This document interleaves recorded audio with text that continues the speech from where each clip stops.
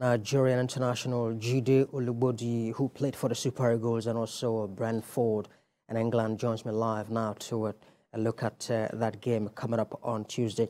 Well, Jide, uh, very pleased to uh, see you this afternoon. Nigeria uh, has not won in the last three meetings against uh, the Algerians. Can they do it this time, even though that it's a friendly? Yeah, good afternoon, uh, Ike. Um, yeah, anything is, everything is possible. I mean, I've looked at uh, the list that uh, Peseiro has rolled out, and I think he's more like uh, he's trying a few players here and there, trying to see whether they can actually incorporate his culture, what he expects of the players, whether they can fit in into his uh, tactical um, um, tactical uh, uh, game. So yes, anything can happen, and I've just been told that uh, there could actually be two games. There could be a big game this Saturday before the main one, and uh, just to get the feel of all the players. So B players play against B players.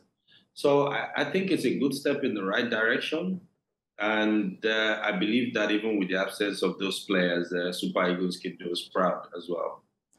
Well, as you rightly mentioned, quite a number of key players are out of the side. Wilfred Ndidi, uh, as of uh, this morning, uh, of course, we were informed, got injured and will be out of the game. Victor Osimhen out of it, Ahmed Musa, Samuel Chukwueze. Uh, these are very, very key players as far as the Super Eagles team uh, are concerned. Uh, how do you think this will affect the performance of the team? Um, I think uh, it, it, it, would affect um, the it would affect um, um, um, the, the, the build up.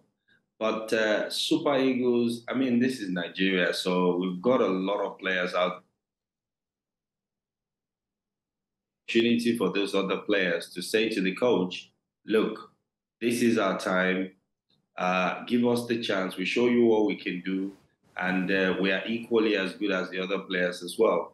So I think it's an opportunity for the fringe players also to stamp the authority in the team and play themselves into the books of uh, the new coach. Because trust me, this new coach is actually he means business. He's trying to revamp the team. So uh, I'm, I'm looking forward to uh, uh, very um, lovely games.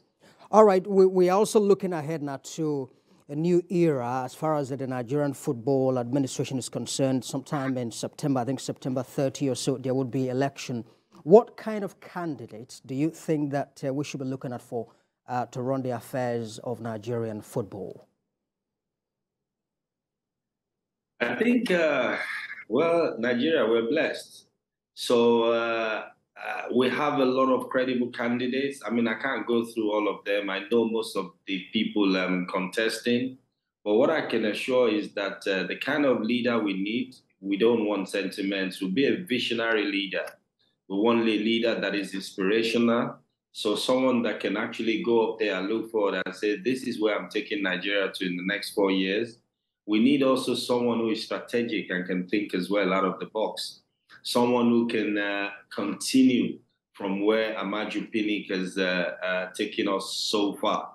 So we need someone also who is interpersonal because Nigeria is multi-ethnic, um, someone who can bring everybody together, and uh, someone who can uh, is a good communicator, and someone who's got an open mind. Because hey, look at it, we failed to meet to qualify for the World Cup. It shouldn't really be happening you know so someone who's got a strategy to take us forward.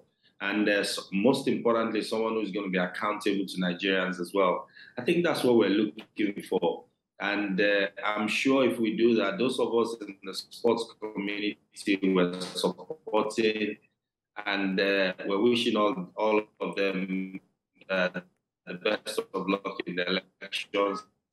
And uh, I just pray that the best man uh, uh, or woman, you know, emerges on the 30th of September. All right. Uh, well,